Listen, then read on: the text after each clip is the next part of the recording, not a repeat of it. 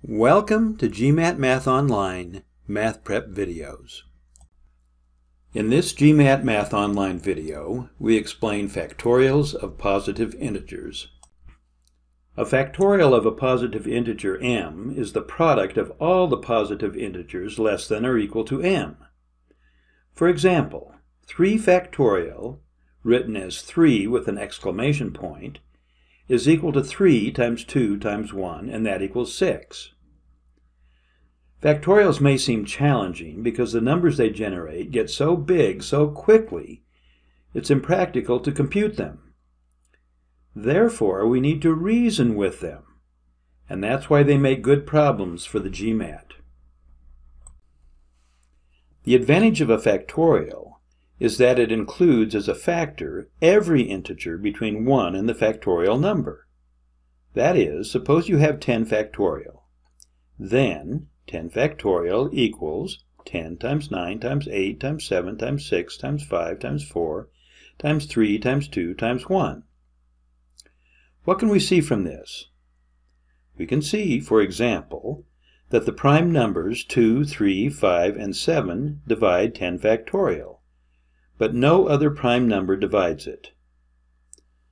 Also, various products of numbers divide 10 factorial. Here are some examples. Powers of 2 that divide it are 2, 4, 8, 16, 32, 64, 128, 256, but not 512.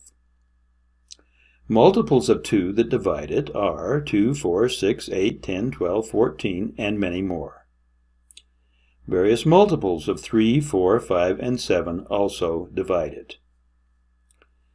Factorials are useful in calculating permutations, combinations, and probability, as we discuss in other videos.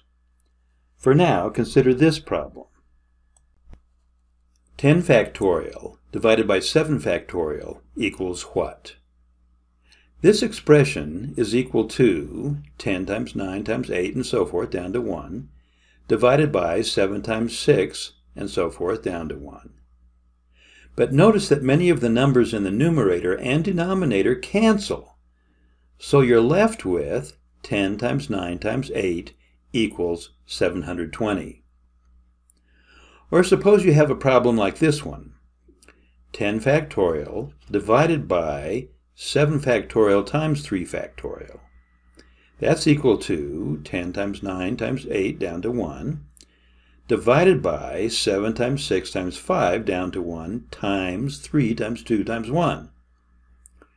First, you cancel out all the factors of 7 factorial, and that leaves you with this, 10 times 9 times 8 divided by 3 times 2 times 1.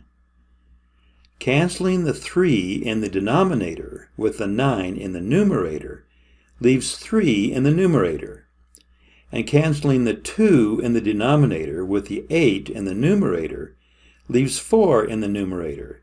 So we now have 10 times 3 times 4, which equals 120. These kinds of computations are standard with permutation and combination problems, and they greatly simplify working with factorials. Now let's look at this problem. 50 factorial ends with how many zeros? And here are some possible answers. Let's illustrate how to solve this problem by looking at 10 factorial. 10 factorial equals 10 times 9 times 8 and so forth down to 1. A zero occurs at the end of a number whenever it's multiplied by 10, or in other words by a 5 and a 2. As you can see, every second number in the factorial is even, so there are plenty of 2's. On the other hand, a number divisible by 5 comes up only once in every 5 numbers.